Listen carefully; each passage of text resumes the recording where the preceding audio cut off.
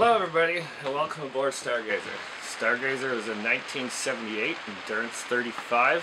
It was built by the Declare brothers in Vancouver, British Columbia. I purchased this boat about a year and a half ago I think and for well the last year and a half and all my free time this has been what I've been doing.